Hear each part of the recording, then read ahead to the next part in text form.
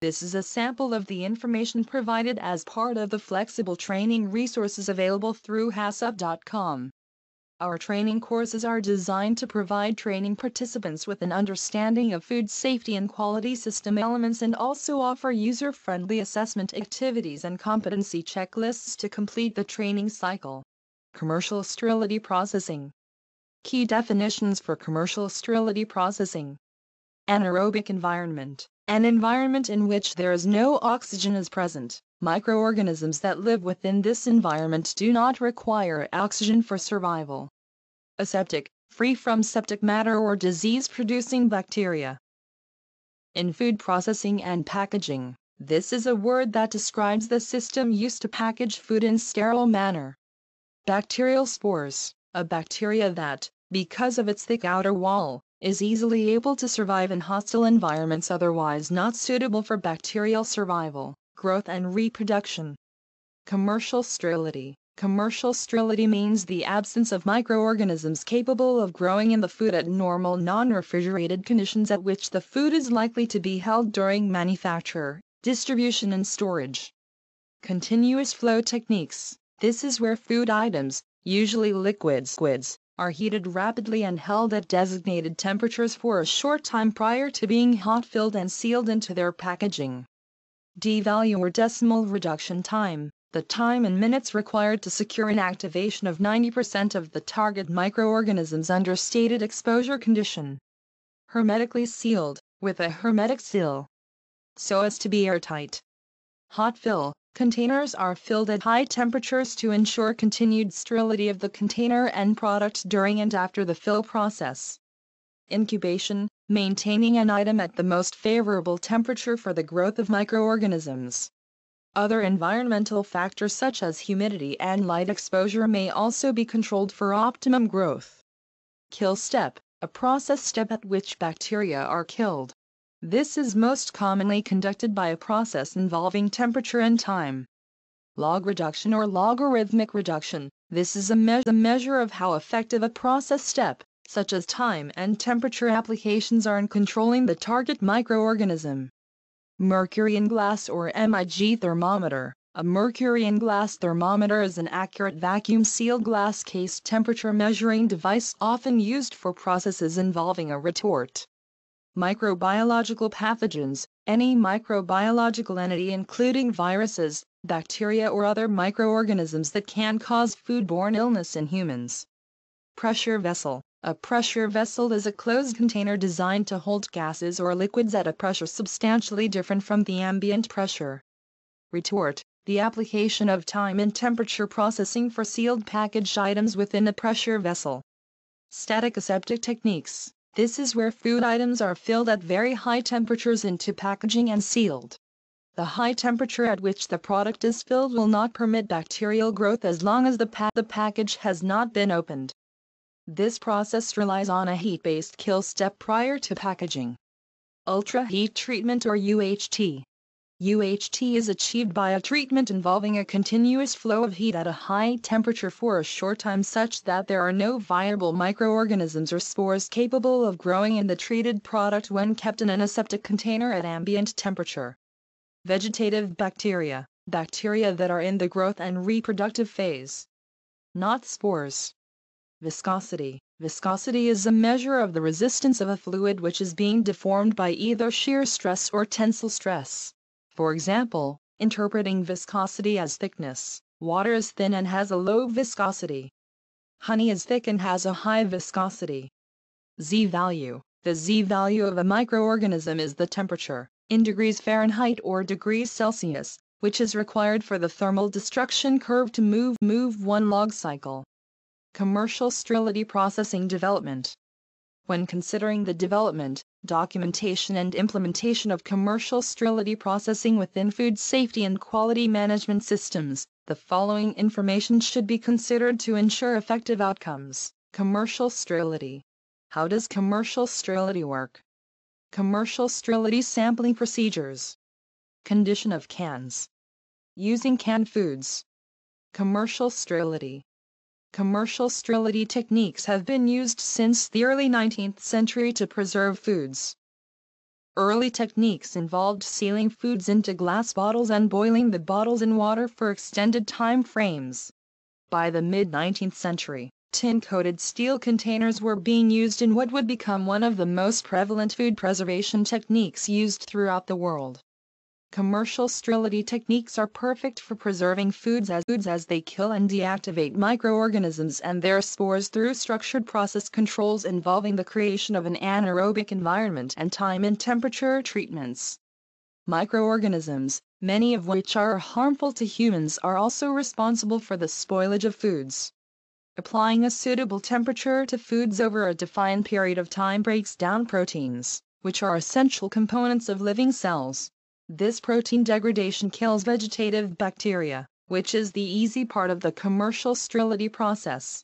The challenge is to kill bacterial spores, which are more robust than vegetative bacteria.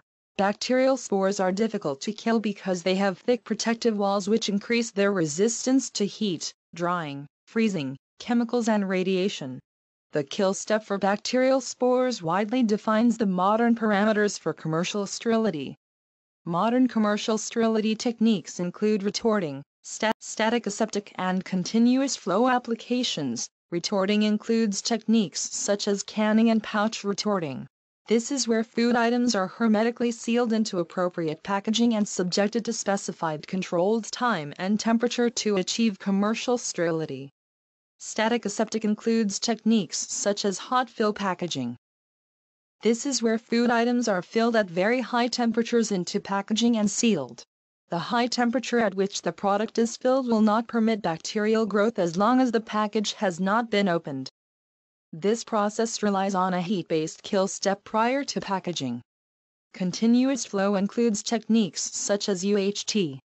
This is where food items, usually liquids, are heated rapidly and held at designated temperatures for a short time prior to being hot filled and sealed into their packaging. The goal of all variants of commercial sterility is to produce foods that remain sterile, sterile whilst their packaging remains intact. How does commercial sterility work? Commercial sterility processing relies on the application of one or more steps at which microorganisms are killed and their spores destroyed. When applying a sterilization procedure such as the application of heat, it is important to consider that not all bacterial spores are killed at the same time.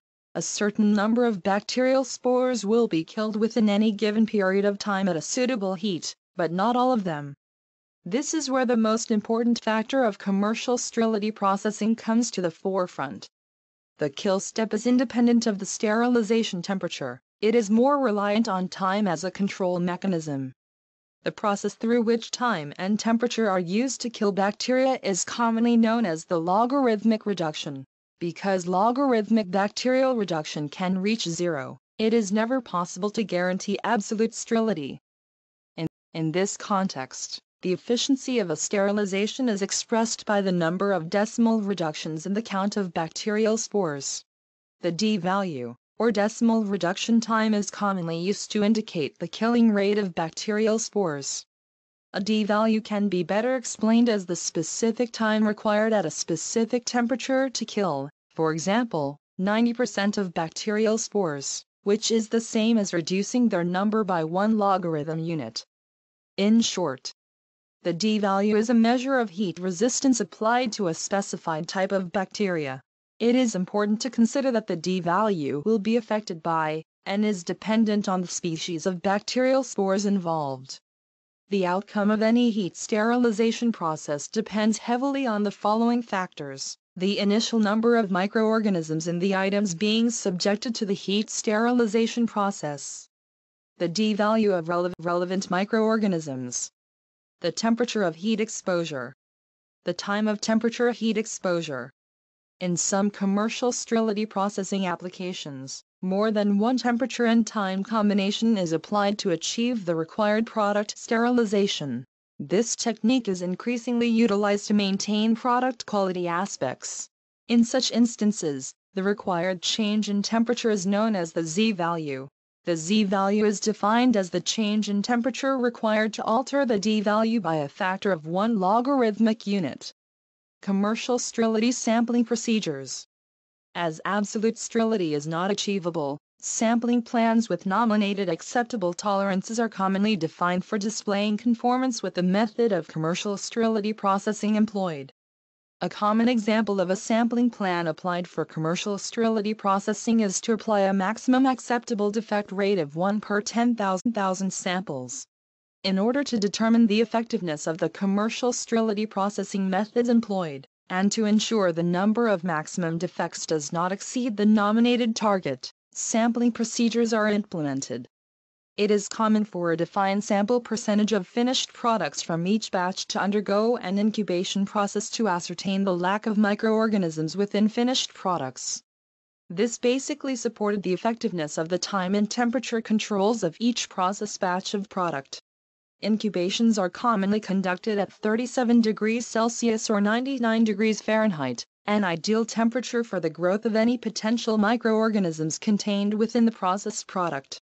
Generally, if the products being incubated do not show any signs of bloating or vacuum, it is assumed that the commercial sterility process has been successful.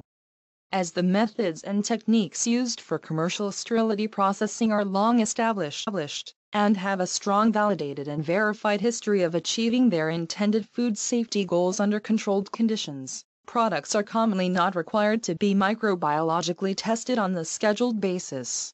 Though the commercial sterility process should always achieve consistent results when conducted in a controlled and verified manner, it is important to consider that analytical microbiological testing can provide substantial evidence of product conformance to commercial sterility standards. Did you know that HACCP.com includes resources that allow you to create, manage and implement GFSI and HACCP-based food safety and quality programs?